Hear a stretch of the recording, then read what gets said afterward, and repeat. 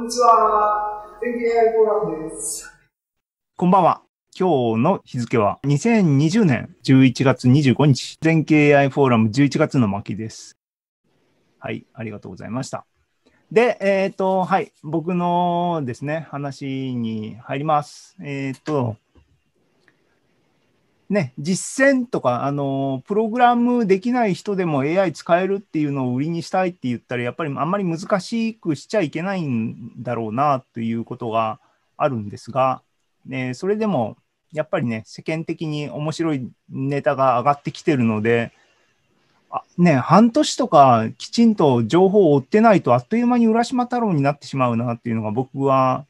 思ってることなんで、忙しい忙しい言わないで、きちんと勉強は続けていかなきゃいけないなと、今回準備してて改めて思いましたが、えっ、と、最近の話題から実践編っていう形でですね、あの、まあ、時間が無限にあるわけではないので、ピックアップして、あの、テーマは、今回は2つネタはピックアップしました。行きがかり上。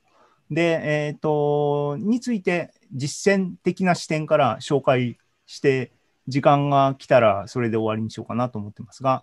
はい。で、最近の話題として2つを取り上げたっていうのは、ビジュアル、えー、あ、違う、 Visionだ。これ、ごめんなさいね。 Vision Transformer っていうやつと、えっ、と、 BYOL っていうんですが、 Bootstrap Your Own Latent っていう、この2つのネタですね。これ、これ略して BYOL で BYOL って言いますが、えーっとね、こっちの、あの、この2つを取り上げたいと思います。で、一応背景を簡単に、えー説明しておきますと、えービジュアルじゃないな、ビジョン、ごめんなさい、ビジョントランスフォーマー略して BI、VIT って略されますが、何ですかっていう話ですけども、これはトランスフォーマーっていうものの、あの、足音が、えっ、とですね、ディープラーニングの世界をですね、あの、っていうか、あれだな、ディープラーニングっていうものが、既存のコンピュータープログラムをどんどん駆逐していったっていうのがか、あの、過去5年前ぐらいの話かな。で、おうコンピューターはディープラーニングすごいすごいっていう話がありましたが、その後、もちろんいろんなね、コンブネットっていうのがあって、なんとかがあって、LSTM があって、えっ、と、自然言語処理とかはうまくいくようになってとか、すげえすげえっていうのがこう来てての、一つの最近の大きなブレイクスルーの一つであるところのトランスフォーマーっていうアプローチっていうのが、えー Google さんかな、えーとによってあの提唱されたっていうかですね、その論文がこれなんですけども、Attention is all you need. Attention さえあればいいと。ね。あの、愛があればそれで全ていいの文字だと思いますが、2017年なんですけども、えっ、と、このアテンションっていうのは何ですかっていうと、そもそもは、あの、NLP で、あの、翻訳とかですね、で、威力を発揮して、もうこれは定番だねって言われた LSTM っていうモデルがあるんですが、そこに、あの、アテンションっていうものを導入することで、文字、文章っていうのは、かかり受けみたいなんですね。遠くの、だから、あと、かかり受けとか、あと、認証っていうか、属性別による、えっ、と、受け方の違いみたいなので、遠くの関係みたいなのが、RNN とか LSTM でやっぱり難しいねっていう話があったのが、アテンションっていうものを導入することで克服できたっていう文脈で導入されたものなんですが、えー実は NLP で、いや、アテンションが土台の LSTM よりもアテンションこそが大事なんじゃないのっていう、あのーコロンブスの卵的な視点の、あるいはコペルニクス的な展開っていうんですかね。これがその論文で、OK って、アテンションだけでモデルを作っちゃえって言って、実際に作ってやってみたら、NLP で既存のモデルを全部淘汰しちゃったっていう出来事が起きたんですね。で、すげえすげえっつって、バートとかっていうのはトランスフォーマーベースの NLP の学習済みモデルとかだったりするわけで、GPT とかもトランスフォーマーベースで、NLP はもう根こそぎトランスフォーマーによって、あのー最新の精度っていうのが出るようになっちゃったんですね。で、えっ、ー、と、当然、あの、シーケンシャルなデータに対して非常に親和性が高い手法が Transformer なんですけども、で、音声、データの解析にもどんどん侵食していて、旧来の、えーと、ニューラルネットのモデルから Transformer ベースのものっていうのが、あの、 state of the art のあのモデルにななりつつあるっていうシチュエーションだけども、画像処理はやっぱり ConvNet が強いよねっていうシチュエーションが長らく続いてきてたんですね。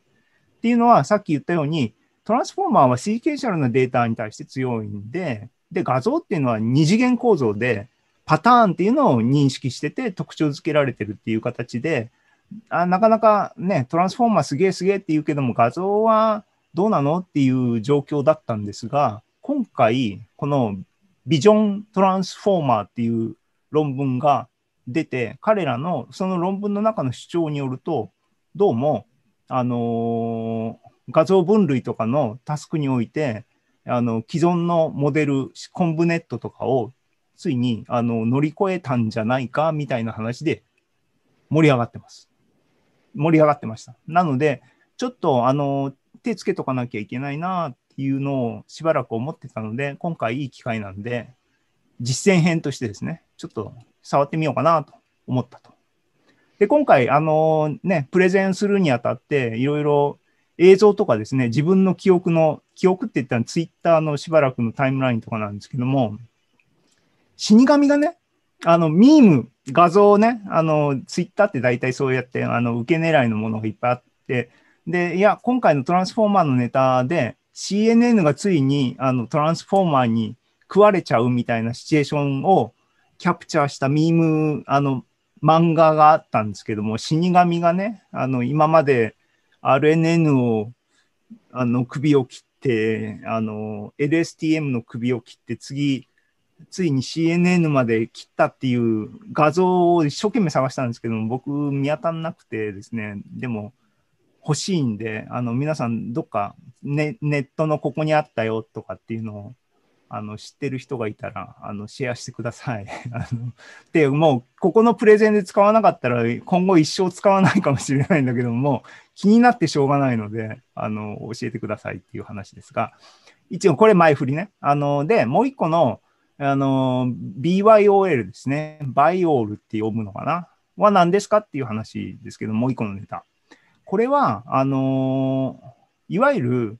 えー、いわゆるっていうかですね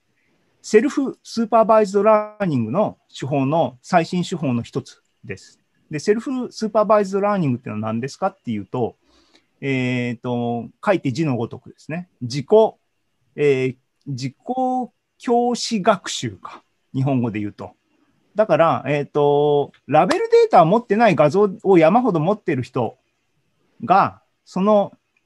束になってる画像をうまく特徴づけるようにモデルを学習するための手法というふうに言えます。これって結構、あの画期的っていうか、あのモデルをね、スクラッチから自分で書きたいと思ってる人たちにとっては、えっ、ー、と、結構役に立ちそうなことで、つまりデータセット作り、何が大変って、あのラベル付けなんですね。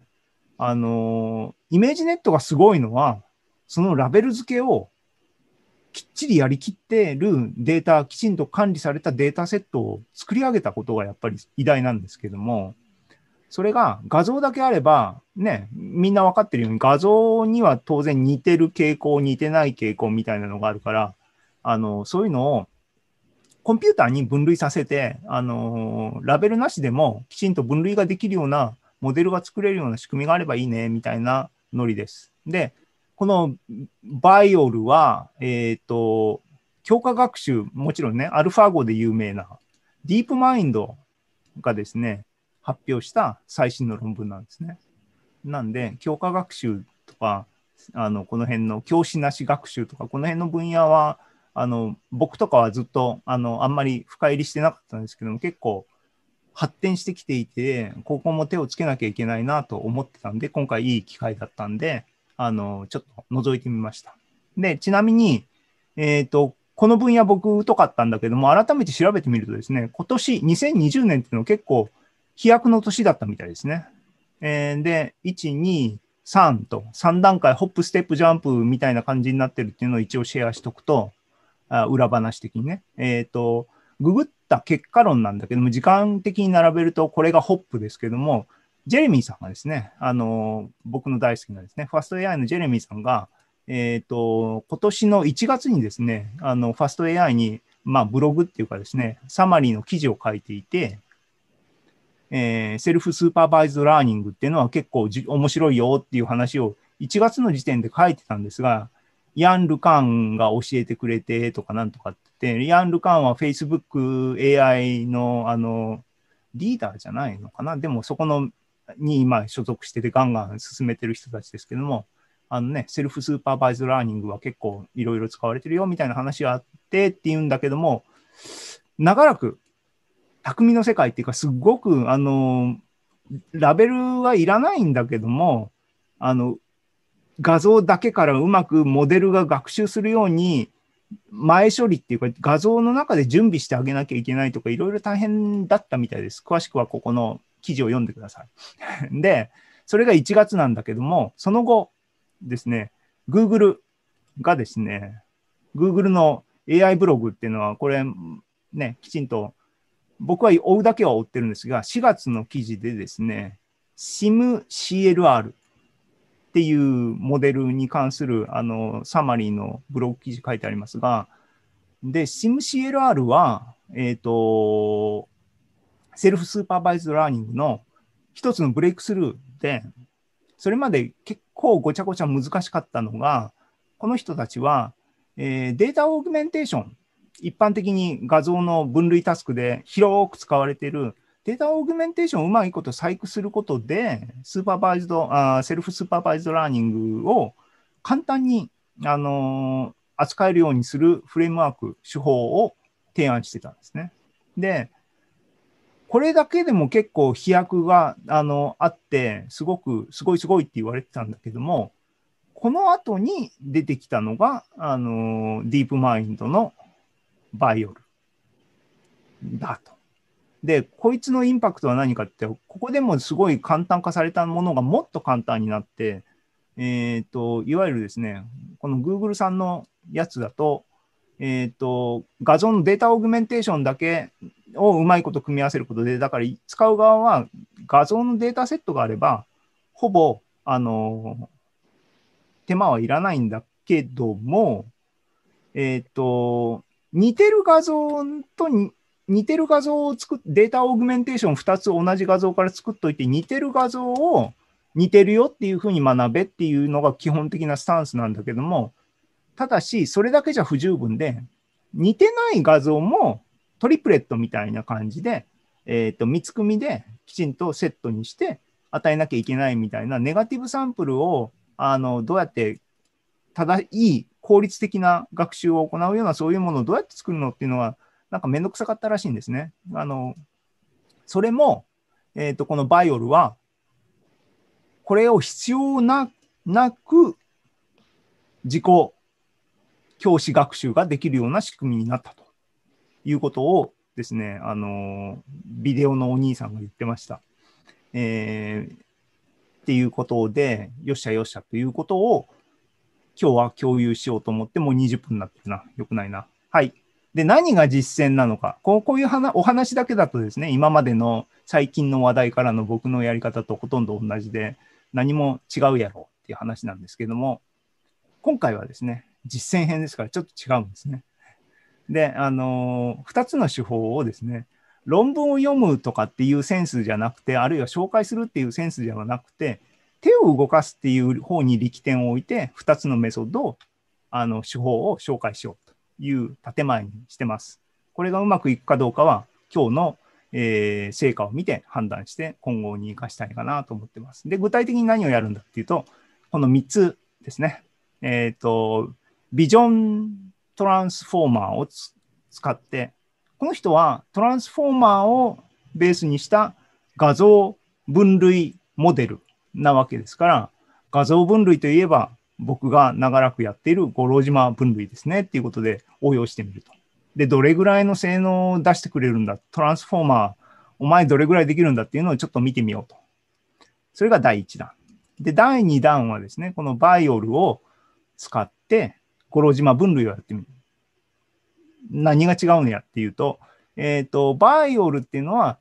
えー、自己教師学習。つまり、なので、 BYOL をまず使って pretrain するんですね。そこではラベルを情報を使わないで、五郎島の写真だけでモデルを学習しといて、その学習済み、 BYOL で学習した、ラベルなしで学習したモデルで、えー、 fine-tuning した結果、五郎島分類使うとどうなるんだという話をする。で、まあ、あの、五郎島